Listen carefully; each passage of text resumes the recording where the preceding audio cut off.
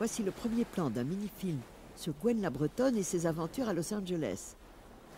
Elles illustrent une des variations de la ruée vers l'ouest.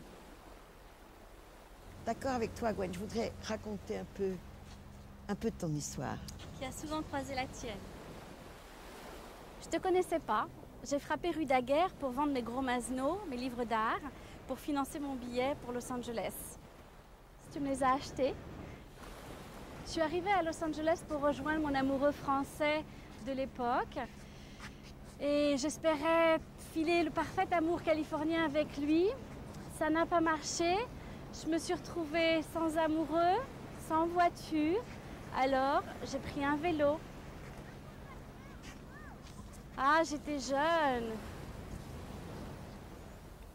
Et la voilà cherchant du travail, pédalant pour aller d'un rendez-vous à l'autre, 30 à 40 km chaque fois.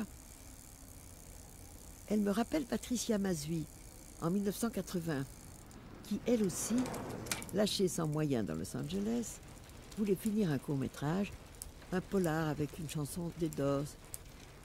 Elle habitait downtown. Elle pédalait deux heures chaque soir jusqu'à Venise, au bord de l'océan, pour travailler de nuit dans la salle de montage où Sabine et moi finissions Murmure.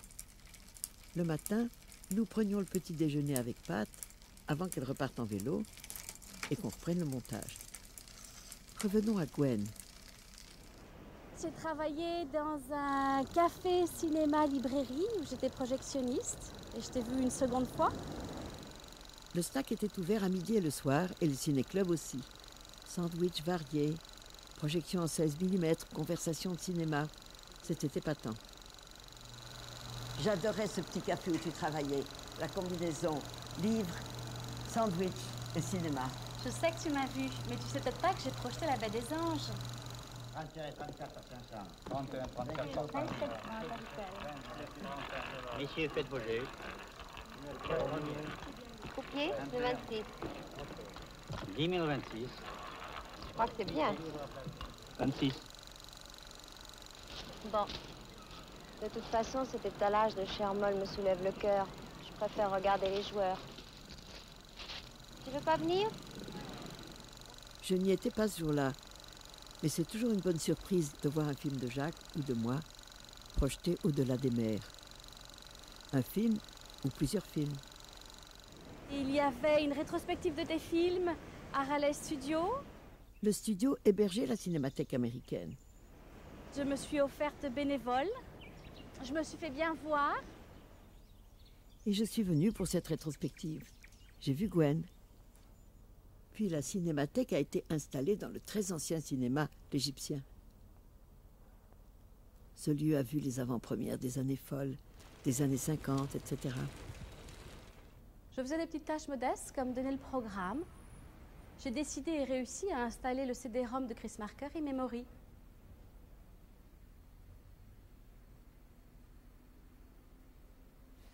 Et c'est comme ça que j'ai commencé, on m'a apprécié, j'y suis restée.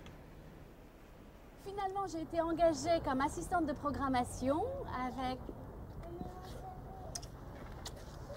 It's true. I'm Dennis Bartok. I'm a producer and screenwriter, and I was programmer for the Cinematheque. This is my wife Susan and our son Sean Dorace.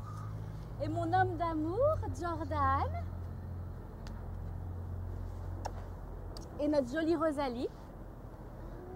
On dirait vraiment une fin de film. Happy End Under the Palm Trees for Gwen de Glees. La Frenchie cinéphile avertie a continué. Toujours en aimant le cinéma, elle a pris du grade.